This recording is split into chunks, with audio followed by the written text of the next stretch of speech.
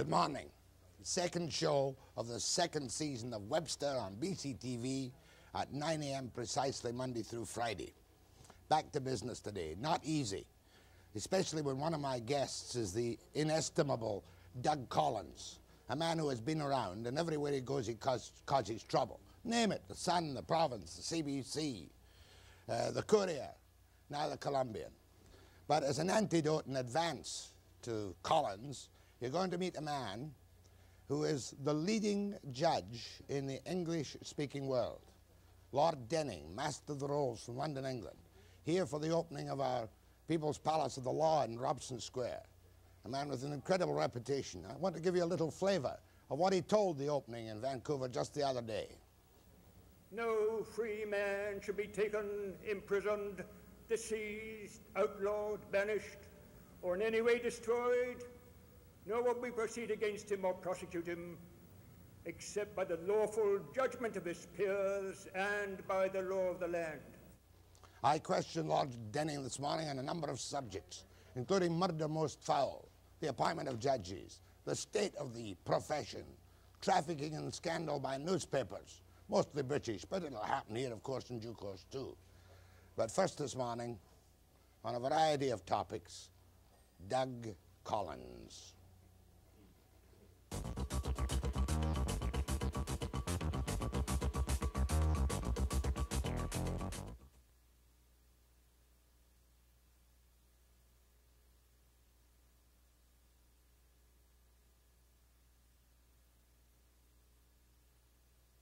Give them credit. I hate this morning, but I'll give them credit in the opening. Good. Very good. Excellent. Are the other two done yet? My monitor isn't on. That's another of your jobs. What's on the air? Nothing's on the monitor. That's bad.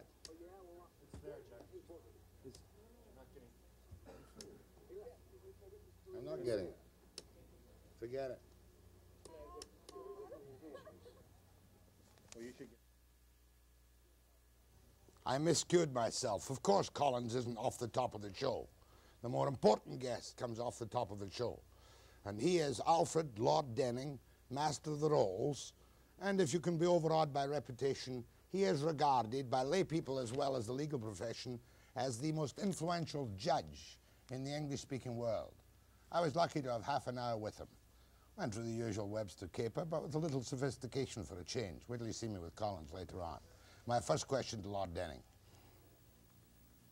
Lord Denning, I wonder if you can give me your thoughts on how far ahead the judges and the law and the lawmakers are of the public, who certainly in North America at the moment seem to be very anxious to bring back almost any form of punitive treatment, be it the rope, the lash, or sentence without parole. If you would take that as my assessment of the public mood, could you compare it to Britain, or could you tell me what you think of the public's reaction to progressiveness and civil libertarianism? Uh, well, I don't know about the public or progressive. So far as the judges are concerned, as a rule, uh, they are behind public opinion and have to come uh, into step with it later on. The judges, by habit, are conservative-minded and do not necessarily act in advance of public opinion. But if you're speaking of capital punishment or hanging or the like, well, I've been involved in most of the debates in England on that matter. And at one time, I gave evidence before the Royal Commission, and I was in favour then of keeping capital punishment for murder most foul. And the Archbishop of the time, uh, Geoffrey Fisher, uh, agreed with me. That was some years ago. And nowadays, quite often, when we have these terrible cases of terrorism, kidnappers, and the like, I feel, and the public feel, perhaps we ought to restore capital punishment. But I don't think we will.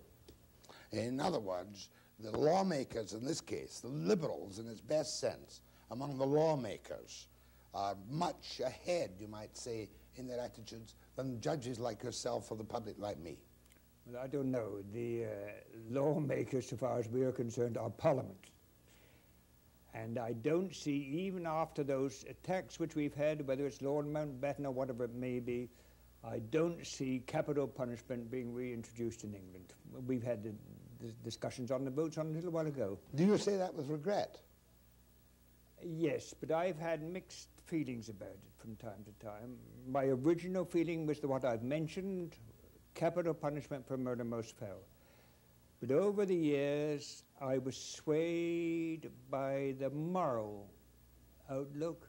Is it right that we should uh, do a thing, hang a man as a society, which none of us individually were prepared to do or even to witness? Mm. And that's the moral uh, feeling which I had. And I was eventually swayed, eventually in the debates in the House, Eventually swayed by that moral argument. This is not a legal argument. It's a matter of policy and public policy. But surely there comes a time, which might well be seen in the Western democracies yet to come, not to mention the IRA or troubles we might have in this country, when for the protection of society it will be essential to bring back capital punishment. Well, I understand that point, point of view, and uh, I doubt whether it will succeed. It's my own feeling, instinctively, is that way. But I don't think it'll happen in our time, my time. One of your favorite sayings, which is quoted often in clippings I've read about you, there can be, without religion, there can be no morality. Without morality, there can be no law. That's right. Uh, would you care to tell me what you regard uh, to, as the state of today's public morality in terms of widespread permissiveness?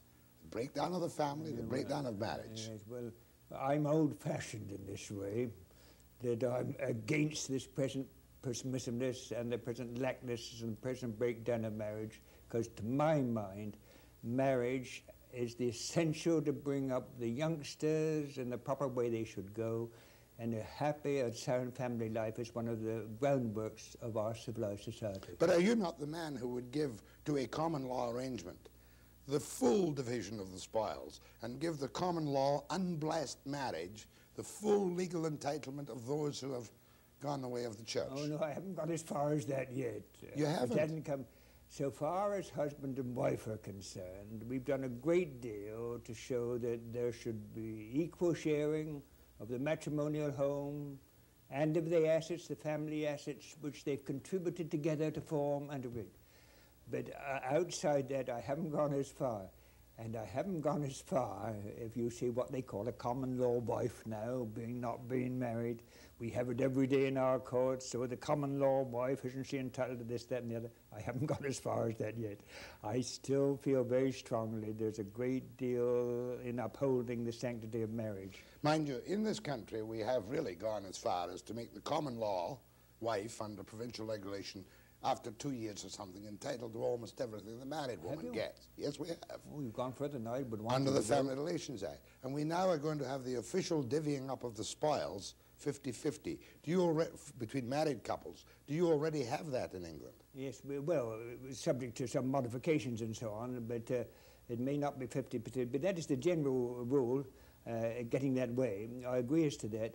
But I'm surprised at your saying that what they call the common law wife, who's not a real wife at all, uh, but a mistress, as we'd say in the old ones, that uh, we haven't gone as far as giving her a share in the spoils yet. Well, we have, sir. Oh, not me, not in my court. I'm not a lawyer, but it's in the books and it's being done now. no, but, well, we, we've started the way to protect her from being exploited, so to speak. We have done something when she's been uh, living with him, having family by him, we've done something to protect her position.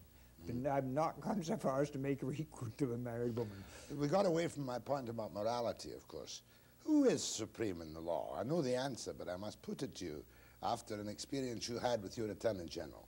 Who is supreme in the law? Is it the judge or is it the Parliament? Well, Parliament makes the laws. The judges interpret. And in a way, by interpreting, the judges have a good deal of say who is the ultimate arbitrator. But in the case which you put of the Attorney General, there I thought we did what was right. Perhaps I should put in there, for the benefit of viewers, that a citizen in England had taken some action against the Attorney General for stopping mails to South Africa. That's right. And he came to you What was your attitude, sir? Well, I, or, uh, they wanted to stop the mails to South Africa, and our own parliament had enacted the law that anyone who impeded or hindered the mail was guilty of a criminal offence. And therefore, at the request of an ordinary citizen, we granted an injunction in the very terms of the parliamentary statute, which I thought was right. And it, one day, the trade union gave in. The mails were not stopped. But later on, Parliament said we were wrong. We oughtn't to have done it at the request of an ordinary citizen. It ought to be left to the Attorney General if he'd do it. And he never did. What you're saying, therefore, is that uh, Parliament, of course, is supreme. Yeah. But in the meantime, it's the duty of a judge to interpret the law for the benefit of the ordinary man. Yeah, but I would always say so. Some people say go by the letter of it, but I never do. By the precedent. I, I go by the, what I call the spirit of an, the intendment of the law uh, as properly understood. And if they want to knock you down later by changing the law, that's let, their business. Let them do it. Let, what them. was it you told the Attorney General, sir? You're never so high, the law is above you. Uh, but uh, there, there it is. Oh, yes, I was quoting an old chap long for. Oh, yes, I told that to the Attorney General, and I hope we got away with it, but the House of Lords said, oh, no. Yes, yes. Do you sit in the House of Lords too, by the way? Uh, yes, I mean, I have time. Anyway, you don't Uh, sit well, I, of course, always sit as a legislator, and uh, I can go and sit as a judge in the Supreme Tribunal if I have time, but I'm much too busy with my own court. Yeah, and you wouldn't have you wouldn't have a vote though as an ordinary citizen because you're one a lord and two you're master of the rolls. Yes, I, I, I haven't a, a, a vote for a member. As a mem- I am a member of Parliament. Yes. I'm a member of the House of Lords. Can you vote? I, on a on a act, oh yes, on a bill in Parliament, yes, but uh, I can't vote for an ordinary general election for a member of Parliament. But is that not a conflict of interest, said Webster impudently, for the master of the rolls, who's also a lord, of course, being able to vote to make laws which he interprets? Oh, well, I don't know about that. We have a lot of odd things in, uh, in our constitution, but that certainly is all right for us to vote on a law and, uh, and then to have the act afterwards to deal with it. Oh, yes.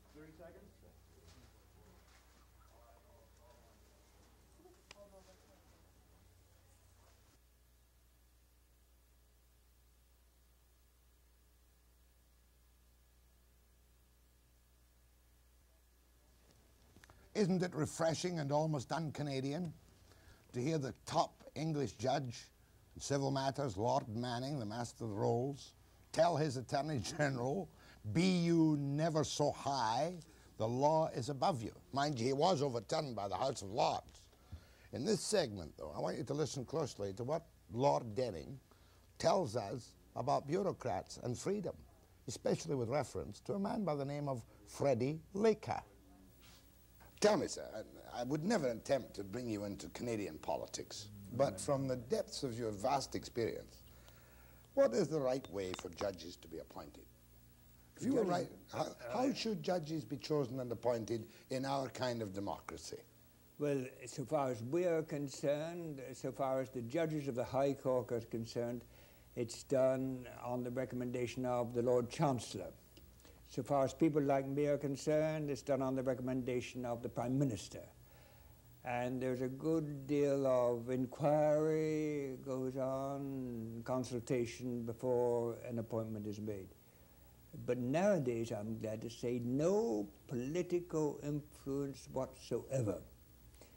I don't know whether it's the same in Canada, but we've got a convention now that the judge is only to be appointed on his merits, on his ability to do his work, and not on his political views at all.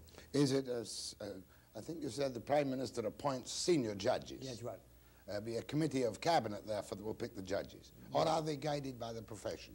Yes. Or well, it wouldn't be a guess, it's really the, the, the Prime Minister, but the, There have been instances lately when a Labour, a Conservative government would appoint a prominent Labour man as a judge. And it's happened one way or the other lately. I think we've yet to see that in this country. Yeah. Perhaps you're ahead of us in that. Sir, the powers of bureaucracy. Now, you are the chief judge at the moment of all civil appeals in That's Britain. right. The Lord Chief Justice does the criminal appeals, I do the civil appeals. Right now, one gets the feeling that bureaucracy, if anything can destroy democracy, it will be the abuse of bureaucratic powers. Does that come through to you in England at all, that kind of... Oh yes, we do have. Be, lately, in the last ooh, half a dozen years, we've had many cases in which it comes to the question: Have the ministers or the government exceeded or abused their powers? And the case which might interest you is Freddie Laker with the SkyTrain. He wanted to put SkyTrain into the air across the Atlantic. The minister said no. He had a prerogative and could refuse and did refuse. Freddie Laker brought that case to the courts. We held that the minister had no such prerogative as he claimed. He was exceeding his powers, and we ordered, therefore, in effect, the minister had to give way.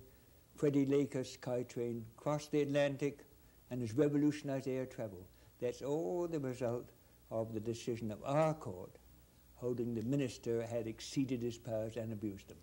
There might be a hundred other instances of bureaucratic abuse under which people are presently lying quietly because they don't know they could be overturned. Uh, Quite. Yes, well, it's gradually being developed, but the doctrine is certainly established in England's law that the courts can inquire into the powers of a minister, and if they're abused or misused, the courts can and do correct them. Uh, one of your famous cases, of course, is you're the man who changed the law of contract, are you not?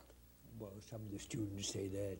Well, you know, I'm not a lawyer, I must One, be. a student wrote to the Times a little while ago when they were published and published this little, they published it, and he said, Sir, with respect to the Master of the Rolls, will His Lordship kindly refrain from changing any more laws before the law examinations in August?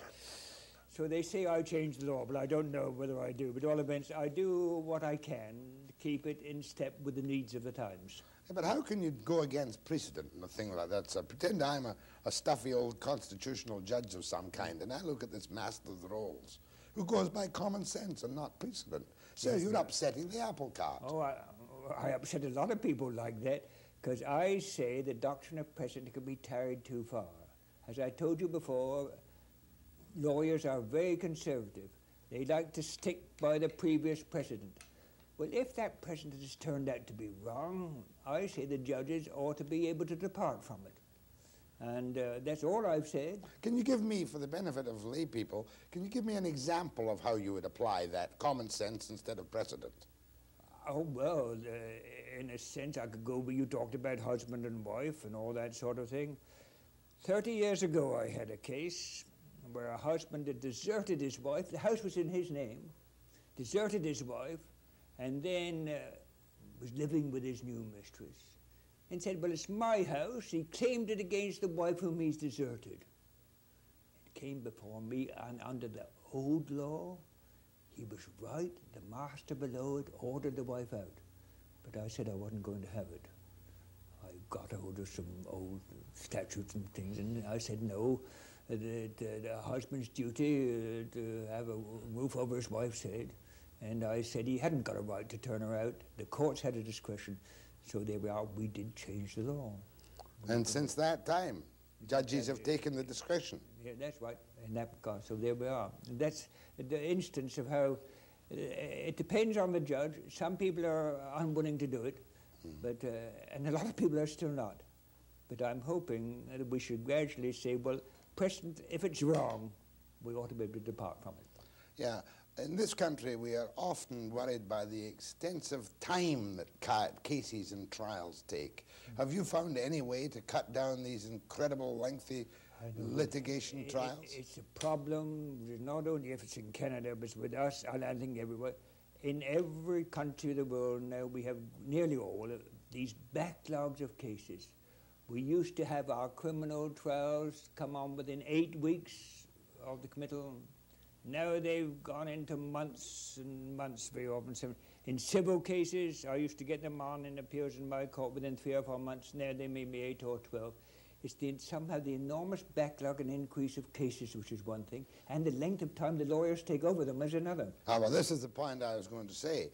Uh, lawyers today, you passed your law exams in eight months, didn't you? Eight months study. yes, that's quite right. And you, you were a lawyer. Yeah. Here they force them to go to school for an arts degree about six or seven years. Is that not nonsense? Well, I think they ought to be able to get through it quicker, but still there we are. That's not on the length of cases, that's on the length of training. Well, length of training may well affect the length of cases.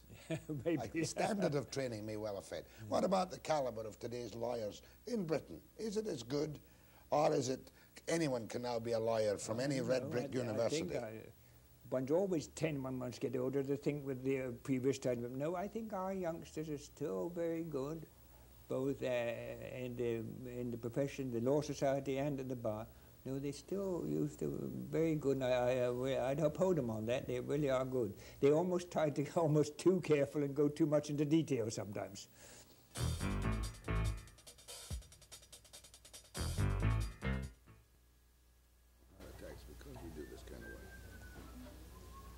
Hmm. See Bob Dibble back. Bob who? Dibble. Who's he? Oh, you knew him well. Photographer was all around all the time. Freelance Croton Studios in the West. Yeah? 36. She's what? Cancer? No, diabetes. Yes, yes. Yes. Yes, love. Lun- I'm run- lunching with the.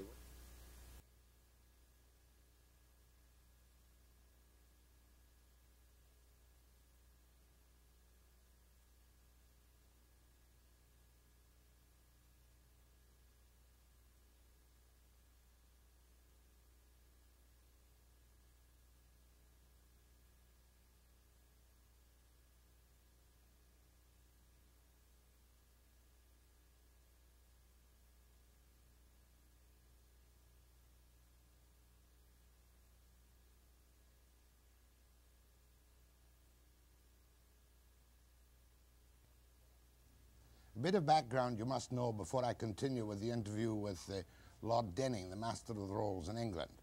He handled the Profumo inquiry. He found that Profumo, remember that scandalous affair, was not guilty of uh, security breach, but he was worried about trafficking in scandal by newspapers. And another case I raise is that of the thalidomide, where the settlements were being held up by the drug companies, and I think it was the Sunday Times hammered in defiance of the obvious libel law the drug companies for really dragging their feet. And this brings up the whole question of how much do we need a free press? Did Lord Denning really mean it when he hammered the newspapers for trafficking in scandal? Listen now. Lord Denning, in one of your famous inquiries, which shall remain nameless, if people can't I can guess. guess that. You're talking, going to talk about Profumo. Yes, yes. You made a very strong observation that something should be done to stop the trafficking in scandal for rewards. That's quite right. Uh, could you could you broaden that? Tell me what you really meant by saying that. First of Well, all, that is in the case where the newspapers will pay the participants in misconduct money for their story. In that case, there was a letter written, the Darling letters we called it, written by the Secretary of State for War, and uh, a newspaper, I think, had paid five thousand pounds uh, for the for the letter and kept it in their files, ready to use on important occasions. Well, that is just one instance, but it's widespread today. I don't follow, haven't all followed all the recent cases. It happened in the other- It's, it's arising again today.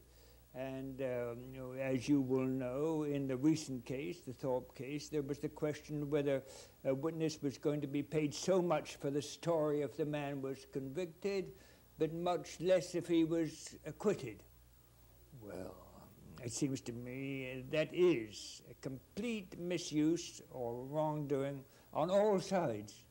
And uh, the, the journalists uh, involved, eh, well, I, I emphasized it in the Profumo case, something ought to be done to do this trafficking in scandal.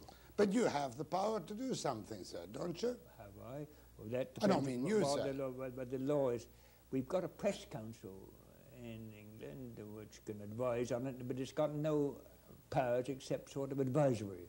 But if I'm going to run a scandal cheat newspaper and pay my story for some participant in a big scandal, I don't give a dash what the press council is going to do to me, do I? I'm afraid that may happen.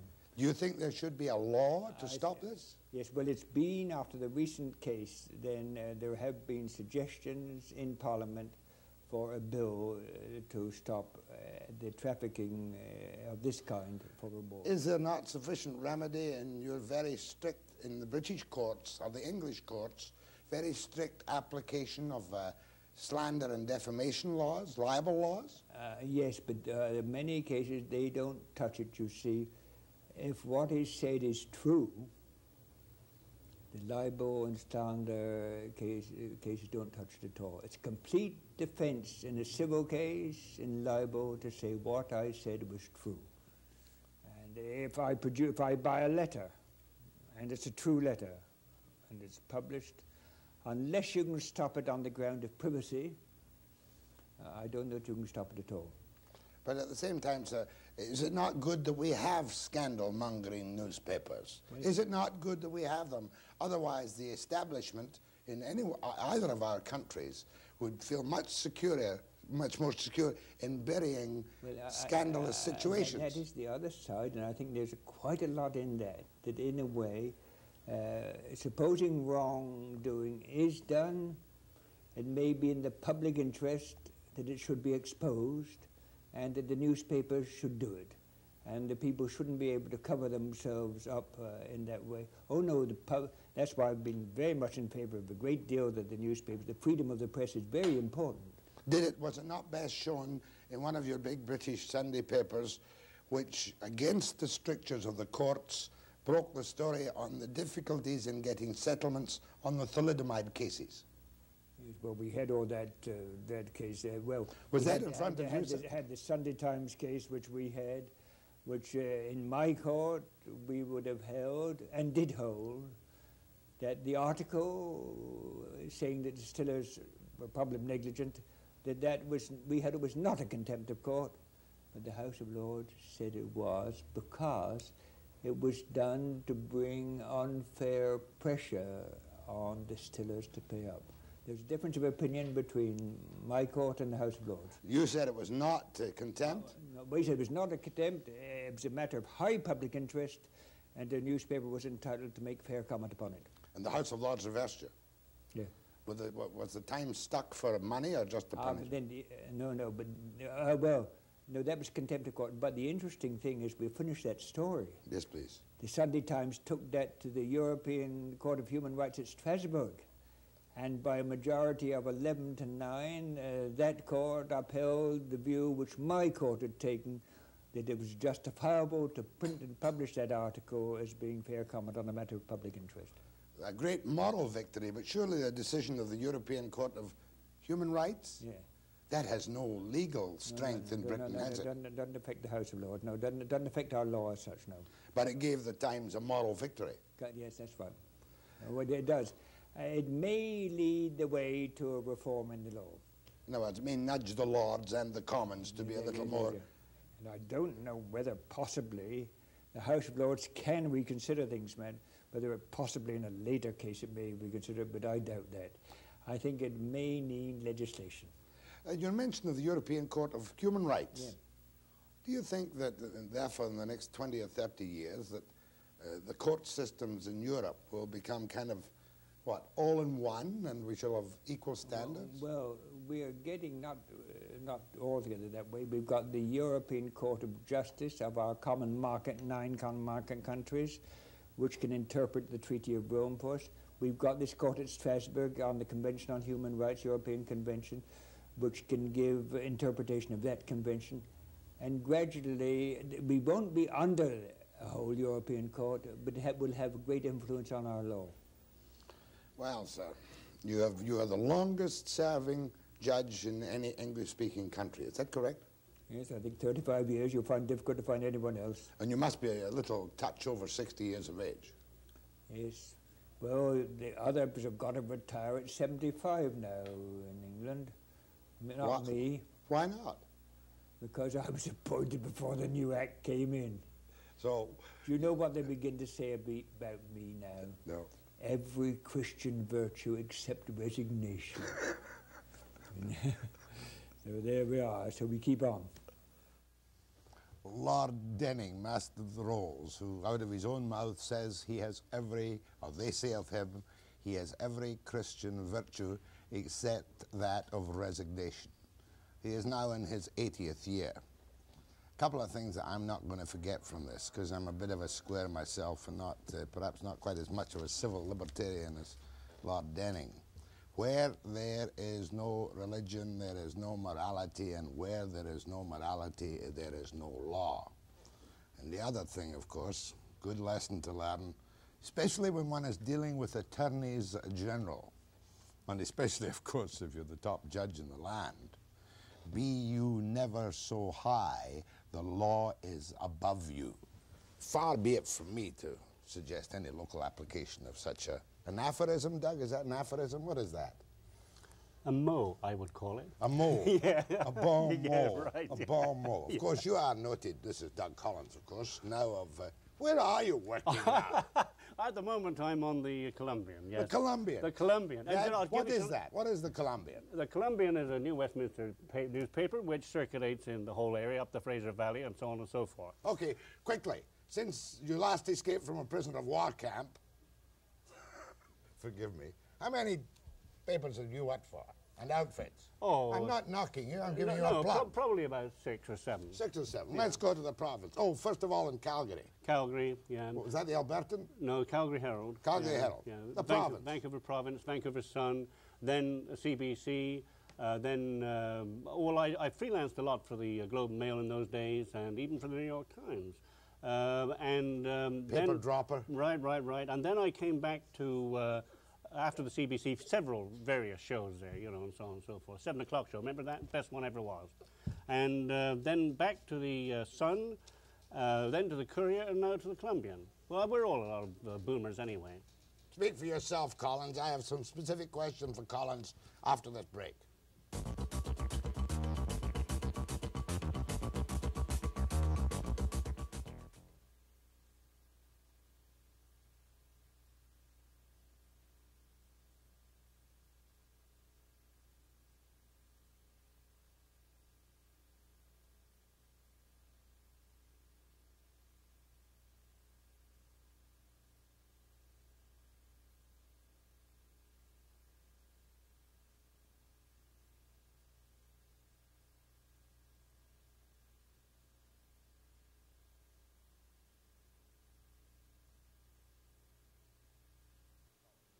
Much more seriously now to Doug Collins of the Columbian. Doug, uh, I expressed my great disappointment yesterday at the birth and abortion of the Courier. I cannot yet understand why a man like you gave up a solid and popular position, popular with the public, if with nobody else, in the Vancouver Sun, to go to what turned out to be a very chancy operation.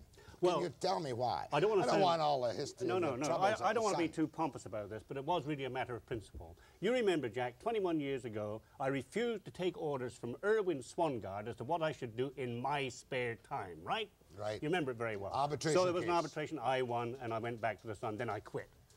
Now, along comes this guy from Toronto, the Ayatollah, uh, Clark Davy, managing editor of the Toronto Globe and Mail for the last 15 years or so, uh, and states that uh, people shall not do regular freelance work outside of the Vancouver Sun uh, in this area.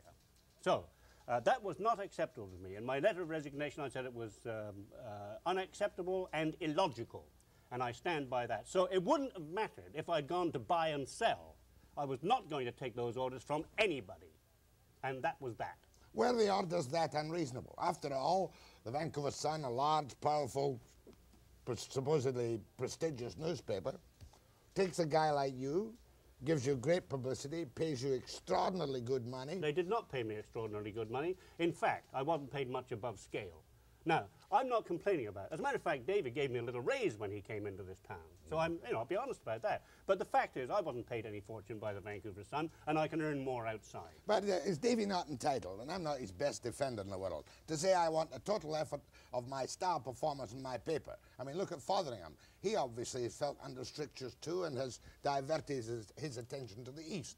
Is that not fair if I'm going to build a newspaper that I want my star people working full out No, for it's not. And it doesn't even make sense. For instance, there is, as far as I know, no paper in Canada that insists that its columnists, you know, do not appear outside in any regular broadcast. Dick, Be- isn't it Beddoes of the Globe and Mail? I don't know how he finds time to write a column. He's on so many shows down east. You know, I mean, so it's done. And that is a tradition. And, you know, if people want to do it, let them do it. And furthermore, it's damn good advertising for the newspaper concerned. Forget that incestuous talk and the fight between you and Dave, Davy, which is rather demeaning. Right. Um, why did the Courier, you were there as a reporter. I was Why there did as a the- columnist. Uh, are you not still a reporter? I- And a reporter then. in that Wouldn't you rather be called a reporter than a columnist? All right, fine. Uh, why did the Courier, in your opinion and from your observation, collapse so quickly and disastrously? Because, because unbelievably, you know, unbelievably, they didn't have the money. As I wrote in the Courier itself, the day following the collapse, any copy boy could tell you that unless you have the money in the bank, don't set up a daily newspaper. Now, when Lecky came to me and asked me to write a column for the Courier and to leave the Sun and gave me a two-year contract, it no more occurred to me to ask him whether he actually had the financing to do so. Well, or to question it, sh- show me the books and all the rest of it. He said he had the financing, and so did the others. But it no more occurred to me to ask him, you know, for detailed background on that than it would have occurred to me to ask whether a ship had been launched without a bottom. In other words, what you should have done if you'd been advised by the proper right, hard-nosed lawyer was ask for a personal contract with the directors of the company. Yeah, or put the money into a trust fund, you know, so that it's there whether or not the paper is. You were naive then. I was naive, but then I have no regrets. No regrets at all, Jack, because I do not think that I would have been able to operate with Davy. Um, you know, he's hard headed, I'm hard headed. As I told him in my letter of resignation, the pu- publisher's entitled to his policy, and I'm entitled to my policy. Always have been. One of the principal criticisms made by your good friend Fotheringham of the Courier, and I was anxious to see it go, just for the sheer competition of it, was that it was a junk paper based on junk English scandal mongering, nobody whatsoever, and exaggerated in the news columns beyond belief. Fotheringham is full of new, you know what. The fact is that the, the Courier broke a lot of good stories. They broke the story of the Vietnamese woman who dumped her baby here. I broke the story of uh, Galindo Madrid, uh, how he was a phony, and how uh, the Chilean consul or the Chilean government was willing to accept him. They never knew about Galindo Madrid. the Hold your, hold your breath. Galindo Madrid, I'm only catching up now. Th- but just a minute, but to, to- to be fair, Oh. to be fair on the, on, the, on the fathering criticism, there were some times when they did play on the front page phony stories. I can recall um, the one uh, where the uh, Indian escapee, what's his name, um, was on trial here. Uh, Peltier. Peltier, Peltier. They ran a story on a Sunday, I think it was, showing Peltier possibly making for Canada, you know, after he jumped out of jail and was hiding in a cabbage patch down in California. There was no idea. Nobody had any idea where he was. Was they did that. They did that once or twice. But generally speaking, they broke more damn stories than the than, than certainly the province did in those in, the- in, in the period that it was uh, running. But back to when did you know that the, the Courier was foundering so quickly? Had you not had specific assurances from the big shot directors who were assured that all kinds of private wealth behind them that it was go? Yeah, Byrne stood. Uh, Gordon Byrne, who was uh, put on the masthead as chairman, I believe, and uh, whatever president. President and publisher. Publisher. No, I think wasn't Lecky the publisher. I don't know. But anyway, the fact is, he was on the masthead uh, in the top spot, and um, and uh, he got the staff together when there were rumors. He said emanating from Pacific Press to the effect that there wasn't proper financing. He said there is proper proper financing. There's my money in this, and when that's gone, there's my family's money. Words to that effect. I'm paraphrasing. He assured or, and reassured everybody, and they stayed. I consider the whole thing to have been, uh, well, almost criminal in the way that uh, people were, I can say, no, I can't describe it any other way, really deceived. That was what it was. Well, you better put it that it was a, a brutal, perhaps, but naive No, on their part, no. deception Right. of the prospects for people who had moved here to take jobs, had Mm-hmm. given up other careers to take jobs. Yeah, and there were some really tragic, there are some really tragic cases. People moving over from Victoria, buying houses, suddenly finding themselves on the street. Yeah, what's his name? Came over, bought a house. Tony Simnett. And then didn't editor. somebody fly out from England? Uh, yeah, Philip Mills flew out from England and found that the day he arrived, the day he went belly up. We didn't come really to talk about the courier, but I was disappointed in my own way as you are that it didn't make it. Because I remember when the Vancouver Times died with all its problems, it still had a circulation of some 44,000 papers. One thing that mystifies me about uh, the uh, Courier and uh, the I'm not blaming the advertisers. Nobody is to blame outside of the management of the Courier, okay? And I don't even feel mad about them. It's so bad, I don't even feel mad about them. But there's one thing that mystifies me, and that is this. The major advertisers in this town had an opportunity to support something that might have broken the Pacific Press monopoly, that would have broken it to some extent if it had survived. But they didn't support it. Now, I'm not suggesting that they're philanthropists, that they should throw their money away, but I would have thought that it would have paid them as businessmen to help keep the thing going. They didn't do it. So whatever happens in the future, their fault, you know. I expressed my concern yesterday about what I regard as kind of ineptitude and naivety and lack of proper financing. I don't think you can say it was even almost criminal. I don't think that's a fair remark. No, well, it's bloody bad. Can we say that? Yes, you can say that. Webster and Collins after this break.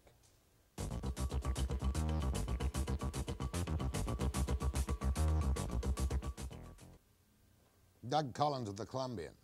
With your specific accuracy, because I'm going to be interviewing Svend Robinson tomorrow, let me give you my little thought. Okay. I saw little pieces on television and in the newspapers while I was relaxing, in which Robinson appeared to offer his house Yeah. as a place of sanctuary for a man, quote, wanted by the law. Is Yeah. that correct? Yes, that is correct. Now, Uh, without overstating it as in the usual Collins manner, give me the basic clinical facts in the Galindo Madrid case. The basic clinical facts in the Galindo Madrid case are A, that the man is a phony. He's no more a refugee than you are.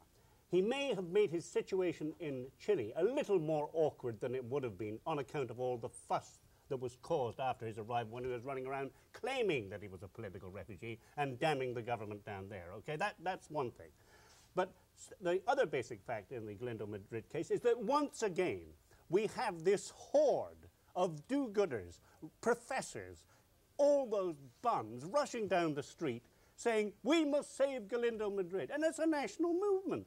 Galindo Madrid jumped ship, is that He right? jumped ship, my understanding, and I, bit, when I was the only, you've got a clipping there Yeah, from, the, from the Toronto Sun, which says that I am the only one in the country who investigated the case and came up with the answers. Now, the fact is that Galindo Madrid jumped ship in 1977 or whenever it was, now, two years, more than two years ago. Uh, my understanding, he went on a drunk, And missed his ship. missed, no, he didn't miss his ship. He went back to the ship. He had other differences with the captain. The captain wouldn't let him on. And uh, he, this big political refugee, went to the Chilean consul in Vancouver for help and received help. Now, is that a natural act for a man who's a refugee, a political, a political uh, criminal, in other words? Uh, who said he was a refugee? Well, he said he was a refugee after he received advice from, the, from people in the Longshoremen's Union. You know what they are politically. I mean, they're pretty close to Moscow, aren't they? Politically, you know. Uh, and, and so they said one way to stay in, in Canada is to be a political refugee. Apply for refugee status. And he applied for refugee status. Now, what, go on, you want to say something? no, I was going to say, at some stage, he must have been under some kind of deportation order from the immigration. Oh, of course. No, he went through the whole. This guy has cost us tens of thousands of dollars. Really, he went through. First of all, he applied to the immigration department in the normal course of events. You're not a political refugee, they said. Okay, then he had a special inquiry, which means a a- an immigration officer sitting specially and going into the case again. Nothing doing. Uh, then it's appealed. Now, here's a very interesting thing. It went to the Immigration Appeal Board, which is an independent court of record. It has nothing to do And a very sympathetic and body. very, very, oh, they're a bunch of do-gooders. You know, I mean, if there's any chance that, you know, you, you get away with murder there, they'll give you the chance. They're nothing to do with the immigration department. And they went into the case thoroughly, lawyers on both sides and so on and so forth. They came out with the verdict that the man was not a political refugee. That press reports, this is a good point too, that press reports stating he was a political refugee did not make him one. Okay? Separately from that, there was a, um, a, he went before the Interdepartmental Committee, or his lawyers went before the Interdepartmental Committee in Ottawa, uh, which is composed of some members of the Immigration Department, some members of External Affairs, and um, various other public persons who were interested in immigration. They said he wasn't a refugee. Then there was the Refugee Committee. It's a great, got a great big long title. I won't bore you with it. But there's a Refugee Committee in Ottawa, which is again independent and has a United Nations Refugee Observer on it. Galindo Madrid is not a political refugee. Then, when he was under deportation or some kind of notice, he hid in somebody. He was given sanctuary. Well, this silly ass uh, Svend Robinson, uh, you know, the MP, who was interested, in my opinion, mainly in getting his name in the papers and making publicity. Burnaby elected him. God help you, Burnaby. I mean, that's the sort of thing you do when I'm not watching, you know. And so he, he, he turns up, you know. He succeeded. He's going to be on my program tomorrow morning. Yeah, probably. He'll flannel you too. But I, he didn't. Svend Robinson didn't flannel me when I was on an open line with him. I can tell you that because you know you've got to be very well informed on this, Jack. And where is Galindo Madrid now? He's washing saucers or cups and saucers somewhere in Vancouver. Look, here's uh, what the immigration minister, you know, Atkey's a fool too, the immigration minister. Uh, here, what, here it is. It's dated July the 31st, and he states, the immigration minister, should Mr. Madrid fail to leave Canada voluntary, either, voluntarily, either to Spain or to another country which is willing to receive him, immigration officials will have no alternative but to give effect to the order of deportation. Still hasn't been done, and you, I'll bet you it won't be done. In other words, he'll get a ministerial permit to No, stay. no, there, there'll be some some uh, malarkey, and uh, he'll go over the border probably to the United States for 10 minutes and come back. Reapply. Yeah. That's why you're here this morning, not because of Galindo Madrid, because of this. Oh, the, my book, yes. The book I was hoping you were going to mention it. The book which stamps you in the eyes of some observers as a committed white racist. yes, that's true. Hold your breath. Time for a break with Collins.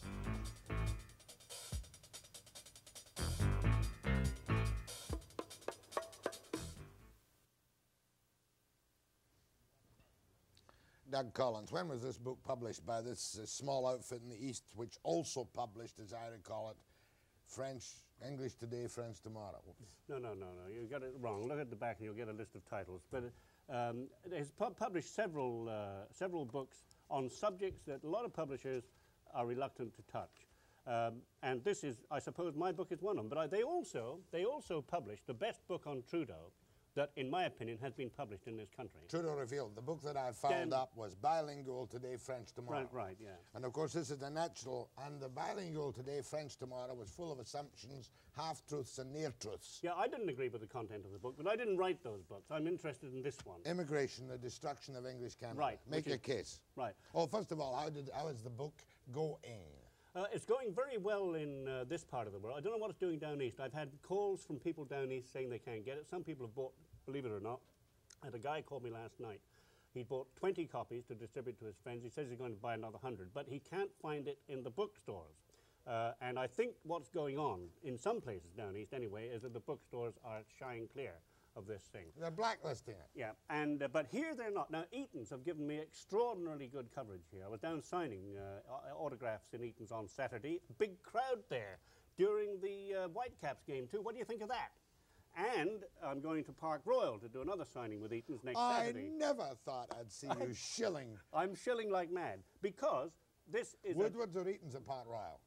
uh, Eaton's. Yeah, Eaton's. yeah. No, th- th- this this book deals with a subject that nobody else, Webster, has had the guts to deal with. Make your case. My, my, my case briefly is, is First is of all, first of all, is this subhead, The Destruction of English Canada, an editor's exaggeration of your No, position it's my title. I, I, I wrote the title.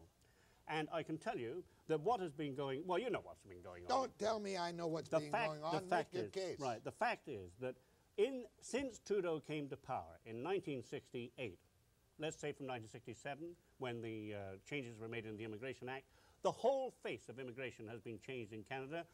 The Liberals went on a worldwide recruitment drive to bring in as many uh, third world people, non white, non traditional, whatever you want to call them, as possible, and they succeeded. For example, um, European immigration, that is including Britain, all right, has gone down in those years from 70% of the total to 35%. It- before 1966, or up to 1967, let's say, the non-traditional for that whole 20 years was about that's 7%. It uh, has gone up to over 50%. This is what has happened. Do you know that the face of Canada is being changed? Old Mackenzie King in 1947 said that it was clear to him that Canadians did not want, by means of mass immigration, to change the nature of this country. And they didn't. And they don't now. But it's being done in spite of them. All right, answer this simple question. What is bad when we need people for this deserted country? It's not a deserted country. Eh, what is bad in face of world crisis, humanitarianism, or refugee problems in bringing in people of other than uh, European English background? You know very What- well. You, tell I'm me. Going to, I'm going to tell you. You wrote the yes, book. Yes, yes, I'm going to tell you, and there's a lot of stuff on that in there. It sets up social tensions which need not exist. Now, I have not said, and I've never said, and I never will say, that there should be no coloured immigration into Canada. There always has been some coloured immigration into Canada, up to 1967 or so. In 1967, it was about 16%. That is a percentage that can be absorbed properly. But I don't give a damn where you go. You can go across the world. You can go to Britain, you can go to France, you can go to the United States, you can go to Malaysia, you can go everywhere. And where you get a massive injection of immigrants of a different race, you will get racial troubles. I don't know whether you know what's happening in Toronto or not. There are tremendous racial tensions I know that the Toronto police now. have recently said they're not going to go to That's right. events where black people are involved. That's right. And the schools are a mess. You know, I mean, it, uh, the, the percentage of, uh, of um, Asians and uh, West Indians and uh, Africans and so on in the Toronto schools, as here, you know, is very large, uh, up to 40, 50%. And what does that do to the school system? You know, this is, these things, the academic Are you trying to tell me that you're liberal en- enough to believe that bringing in the proper quantity in the proper way, you would be willing to see, say, 16, 17, 18 percent Certainly. of coloured immigration absorbed into Canada? Because you see, here's the difference. I go into the definition of a racist. You know, you uh, said I'll be damned as a white racist. Well, I have been many times, and I'm used to it. Okay, so it doesn't worry me anymore. But the fact is that a racist, by definition, in the dictionary, is a guy who believes in the superiority of the races. I don't believe in the superior, superior, superiority of the white race. I think, for example, the Chinese are a damn sight cleverer than we are. You know, I mean, the fact is that we're talking about social tensions.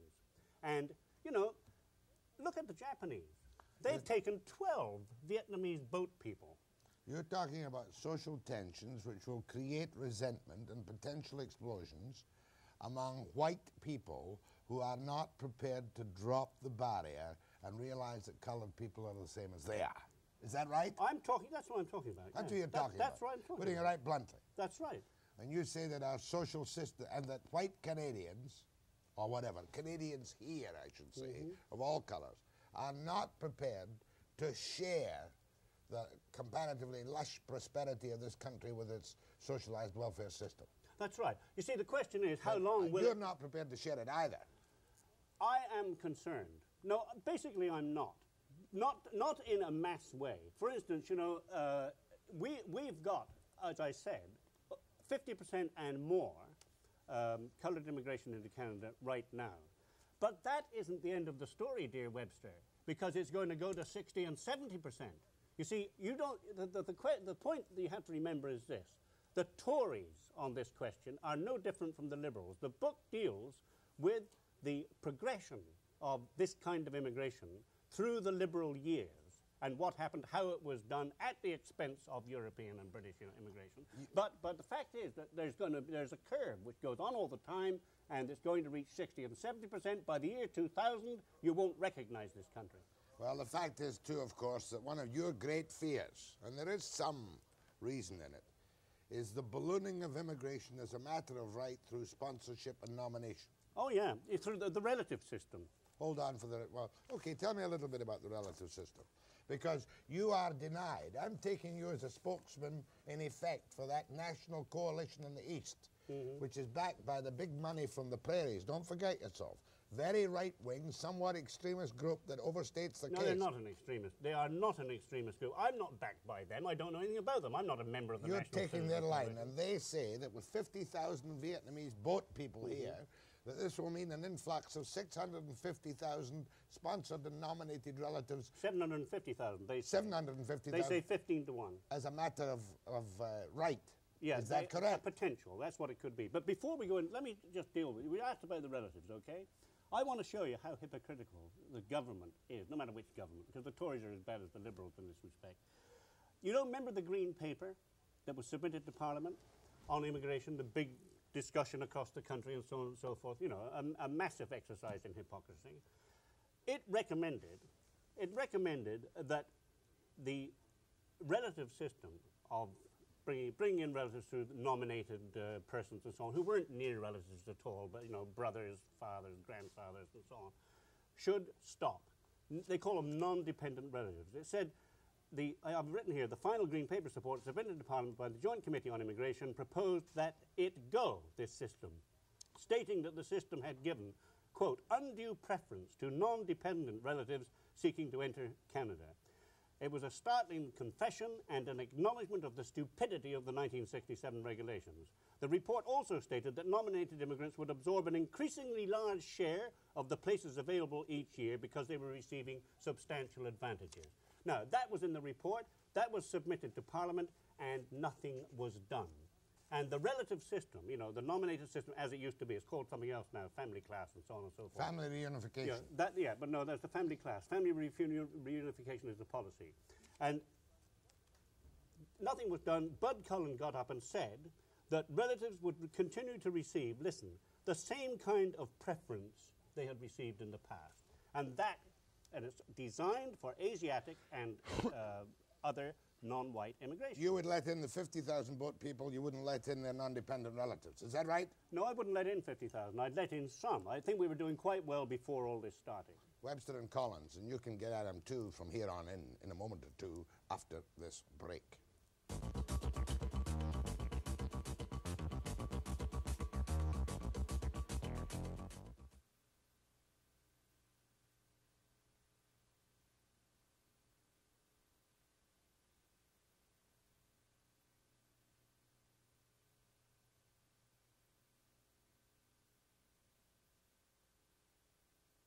Have to build up again.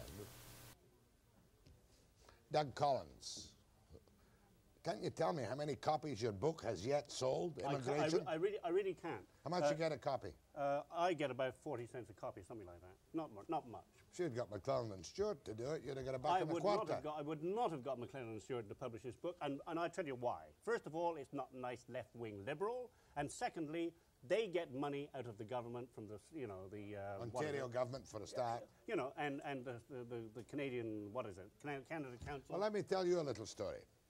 I won't pretend that I'm a total left-wing liberal, but I am a quote small liberal and a bit of a marshmallow. so am I in many ways. We are presently filming, Brian is, a Vietnamese boat person family, 12 of them. Mm-hmm. I met them earlier in the week, last week it was, matter of fact. And nothing in my heart could say that these people should not be in this country. No, I, I, would, I would agree with you. Delightful people. Yeah, I'm, sure. going to have them on on Friday. Yeah, All 12 of them, hopefully. Yeah, yeah, yeah, fine. Well, that's nothing, nothing wrong with that. I'm not saying that the 12 shouldn't be here. Uh, I am suggesting that the policy of bringing in a minimum of 50,000, if the program goes ahead according to schedule, uh, you know, it's the largest refugee movement into Canada ever. And uh, I'm, I'm saying that that, on top of all the other things that they're doing with regard to immigration, is a mistake for this country and will undoubtedly set, contribute to setting up tensions. The media hype to bring approval to the refugees, even I noticed while on my vacation, Mm-hmm. was very strong indeed. Absolutely. Uh, and it's an admirable viewpoint with which one is difficult to argue. But the media have been bloody fools since the beginning of the immigration controversy. You know, you go back to the Globe and Silly Bloody Mail, you know, which, uh, which boosted this policy as far back as 1966. because, you know, we didn't have any problems then. But so I- they wanted them. A great country like Canada must show some compassion and decency in the face of refugee crises. Yeah, you, you know, can't go back to a white Canada policy. No, no, no, don't give me that. I was going to say something. No, don't, don't give do me that. Uh, but but the, you know damn well, Jack, that what I'm saying makes sense. I know you've got to play the role of No, devil's no, no, advocate. no. It makes It good, makes selfish sense. sense. Good makes good sense anyway. Selfish sense. Not, well, uh, do, you- do you want 60% to do you want the situation that exists in Britain? I mean, Margaret Thatcher, faced with this same situation, we're taking more immigrants than the British on, a, on, on, in proportion to population. And Margaret Thatcher came in saying she was going to stop immigration. Now, why would she say that? She says it because it makes sense. You want my position? I'll give you it. Yeah. Right now. I would stop the entry of dependent or non-dependent relatives as a matter of right, except in the most compassionate reunification of Ah, well, family. well, then, in that case, you would have a very small immigration flow. So you are no damn different from me. I'm a little bit more sophisticated and smoother, and reasonable, sane, tolerant, and decent. Yeah. Because you're painting yourself into a corner as a white racist. Well, I'm- You're I- beginning to sound someone- like, like some- the Ku Klux Klan. Oh, shut up. Somebody has to say an honest word, and there's too much waltzing around the issue. That is the position. And I do not consider myself, as I've said before, to be one damn bit better than any West Indian, Chinese, or Hottentot. It's a tough position you're taking. Uh, what about the public? Uh, as I said, there was an incredible media hype Mm-hmm. to open everybody's heart and warm from the time of the Hai Hong on. Yeah. Vote People's Vote. What is the public's reaction? The public is 90% against this. Now, the, you know, there were polls taken in Edmonton. Um, enormous, enormous reaction against the thing. The, the uh, Columbian had the guts to take a poll. I haven't seen one in the province or the Sun, but the Columbian had, a, had the guts to take a poll, and they, had, they found almost unanimous rejection, written. You know, people took the trouble to write. And the, the, uh, the comments of, of the people are vitriolic, far more. I wouldn't dream of saying those things. Did I go to the phones, Linda, with Collins here this morning? I suppose I must. Is the kill button working? Go ahead to Doug Collins. Yeah, I'm happen to be sponsoring a couple of refugees into the country, so I don't think anybody could call me a racist. But I believe in t- uh, completely with Collins, and I think by taking too many of them, we are making the lives of the people we do take. Uh, we are creating a situation their lives are going to be bad, or a lot less the quality of life that they should have normally. And a little congratulations to Collins for exposing uh, Sheila Day and Kathleen Ruff. And uh, he Got rid of both of them. they're both gone. Tremendous. Tell me, are you bringing? Are you sponsoring a couple of boat people? I'm sponsoring four. Four. Very good. What does that cost you in money? Well, they say you got to be prepared to put up to 40, but I don't believe it. Up to what? Up to 40,000. We already 10,000 each. we already sponsored one uh, about six months ago when the first group came in, and it worked out very well. And he's a good worker, and we put him to work, and his family's doing well. What are you paying him? Uh, he's getting minimum, uh, the, not the minimum, our union rate. He's getting, I guess, so thousand, twelve hundred dollars a month. How about, uh, you know, th- this does raise a question. Aren't there Canadians, I'm sure, I know Canadians who would like a job like There's another question. Now, it's a, it's a, you know, people say they're taking our jobs away. Maybe they're not all the time. Maybe some of them are prepared to do things that Canadians are not prepared to do. But don't tell me that when you get a union job like that, that a Canadian couldn't do it. Find a dishwasher, Doug. You couldn't find a dishwasher. Well- I know a young chap, 19, within a union, who's getting $9.03 an hour wage, mm-hmm. no skills, no nothing.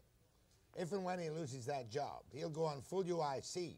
There is no way he'll take a job at three, four, five, or six dollars an Well, hour. i- i- yeah, okay, I, I, I will agree that there's a great deal of truth to that. But what is wrong there is the UIC system, isn't it? Yeah.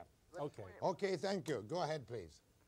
Uh, thanks a lot, Mr. Collins, for uh, protecting the Canadian culture as you see it. I think that you're one of the few that can look ahead and see that through all this emotionalism that they use for human rights, that really there's a plan, a long-range plan, to make us all one, and we're not one. And as long as you've seen Chinese in this country, or Greeks, or whatever, whatever culture you've seen, they're separate. They do not melt. And why should they? We're no better or no worse than each other, but we all want our own culture. And why should the English lose theirs because other countries will not. Uh, it, they can't get along with their own Well, culture. the Americans Why made send their problems here? May I, may I make a comment there? Uh, although the book says the destruction, the immigration, the destruction of English Canada, I'm using the term English Canada in its traditional sense in the same way as the, you use the term French Canada. I would like to point out that I'm not suggesting, although I've been accused by some re- reviewers of this, I'm not suggesting that only the English be allowed into Canada or that it be a little England here. I'm talking about European immigration. Well, wh- whatever. The fact is that we still need to retain our own culture. That's right. Next call. Go ahead, please. Yeah, I feel that uh, the pro- what problems we're having is just starting right now. You're going to find uh, in 10 years down the road, we're going to have the same problems the United States had. They're blacks. Uh, I know for a fact I was born and raised in this country, and I was myself personally was told by a major lumber company, I'm not going to mention the name of it, that if I walked in and a person walked in could not speak a word, speak a word of English, walked in, he would automatically get the job. He would cry racial prejudice. hmm Company give a bad name. Now I was told that personally. He said he shouldn't have said it. Well, of course, it goes on. I know exactly what goes on in that way, and I've feel like described I'm some a of it. Canadian born and raised here, Yeah. and how am I supposed to feel but uh, revenge against these people? And like it's just starting now. And ten years down the road, How old are you? problems. How old are you? Me? I'm Yeah. 24 years old. Are you working? Right now, no. What do you do for a living? I'm a heavy equipment operator. What do you normally make an hour? Normally make an hour. It depends. I just come back now from Fort St. John. Well, they run 15 bucks an hour, all found. No way. Fort St. John, you're eight dollars an hour. Eight dollars, all found. No unions. No union. No unions at Fort St. John. Thank God. You know, you- you know, this chap has a point. I'd like to, to take up his point, okay, about what's going to happen in the future. You know, Doug Fisher used to be the House leader for the NDP, and you can reckon that he is generally regarded as a sort of left-wing. He's a socialist He's- by po- yeah, no, political but but he's he's a very honest man, and I admire his writing, okay, because he writes a syndicated column in the Toronto Sun. He's on, in reviewing my book. He said, and I didn't have this statistic, but he said he's made a study himself of immigration. He said by the year 2000, there will be no, more non-whites in Toronto than whites. And you know, but here's a statistic that I did give with regard to the Toronto situation.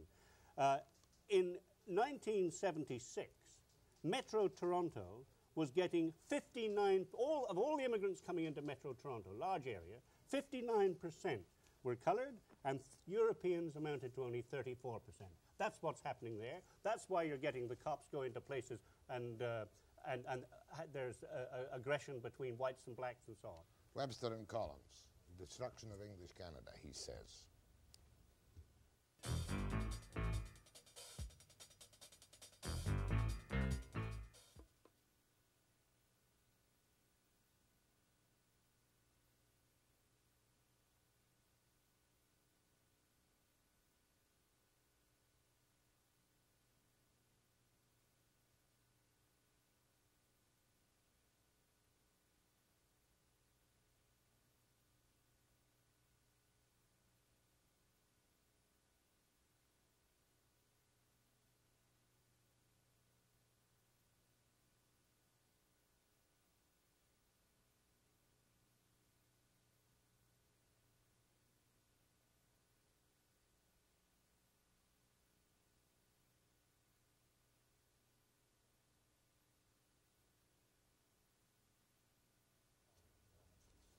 From Kamloops to Doug Collins. Go ahead, please. Hello. Yes, yes.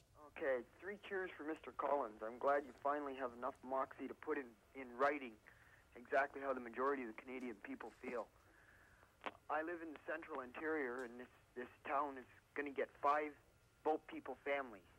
Now, the five boat people families are going to have a house that I pay $300 a month for, and then they're going to be educated and then given a job that pays more money than the majority of, of low-wage earning jobs, and I can't go out and find a job. How old are you? 28, Trade? 12, Trade. drywall. Well, he- yeah, he's got a point. I mean, uh, if uh, some people could leave the country and come back as boat people, they'd be well off.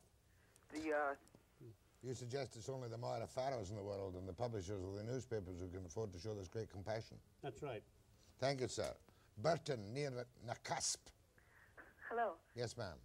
My husband and I immigrated from the United States five years ago. and we seem to have been among some of the last to get in from the United States. Mm-hmm. Um, our very dearest friends, who have been friends for eight years, can't seem to get into the country.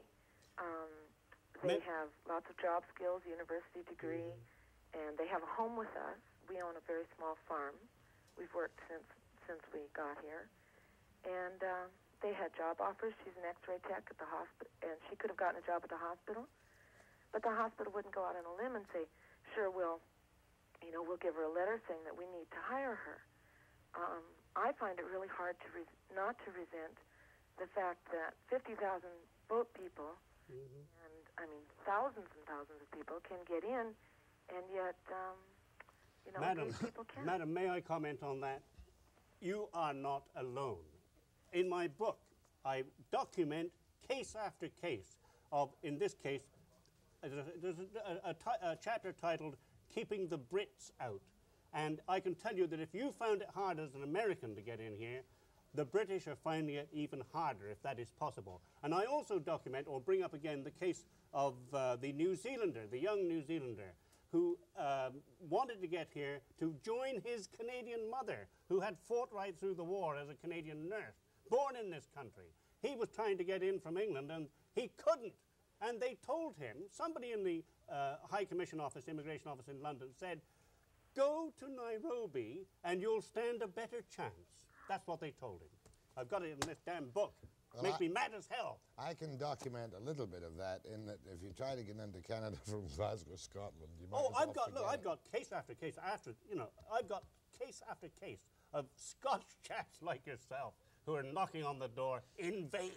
Webster, you wouldn't get into Canada today. Some people might think that would be a good thing. Yes. Go ahead, please. Yes, I'd like to say, um, with all the cutbacks in unemployment and welfare and medical, that um, I was I was just. Do you think we can feasibly expect to be able to support these these people in the in the manner uh, that we're used to?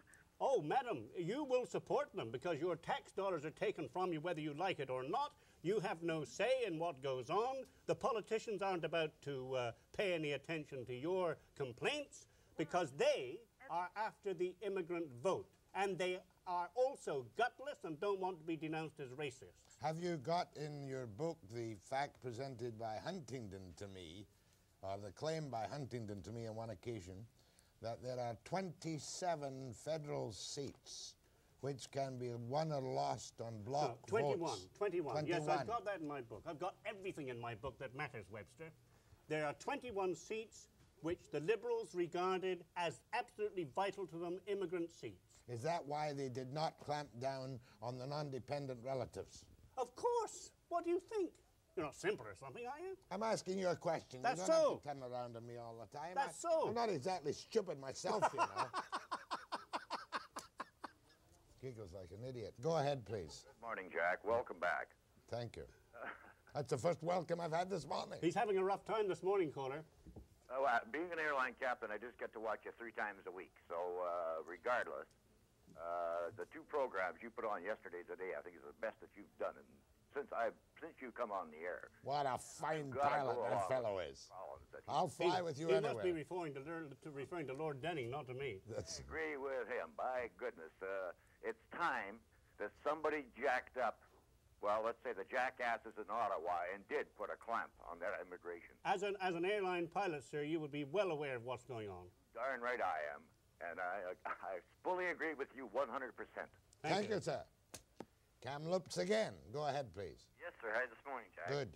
Jack, this is a little different than what you've been talking about, but uh, uh, I live here in Kamloops, and my aunt and family live in London, Ontario. Now, she lost her husband. No, no, just a moment. Are you on about immigration? Yes, Okay, where? I'll give you the connection now. Quick. And uh, I tried to get her out here. I, I got them. I bought a new trailer for them. I flew them You out. brought them out from Ontario to here, you mean? Yes. Well, that's not immigration. That's part of Canada, Ontario. You just let me get my point across. And I, I wanted to get her out here to work, but my money's exhausted now. I got them a home. I, I put my money up for my home, home for them and everything. You want us to pay for Auntie to move to Kamloops? Yes. No. And Thank I've- you. Go ahead, please. Oh, uh, I'd just like to say that I agree wholeheartedly with Mr. Collins. She got in, she doesn't want any more in. Eh? No, You no, don't, got don't in. Be, you were accusing me of being rude just now. Behave yourself, Webster. Let the lady talk. Oh, I, this is the first time I've ever phoned anything. But I'd like to say that I do agree. I've seen what's happened in Britain. But can he, has he got any suggestions as what to, should be done with these people, with the boat people? Yes, we should take in a proportion. Uh, we were doing very well as a country in the bringing in of the boat people before the 50,000 program started. We were going to bring in 12 or 14,000, something like that, which in proportion to our population would be great. Doug Collins, Immigration, The Destruction of English Canada. That's the name of his book.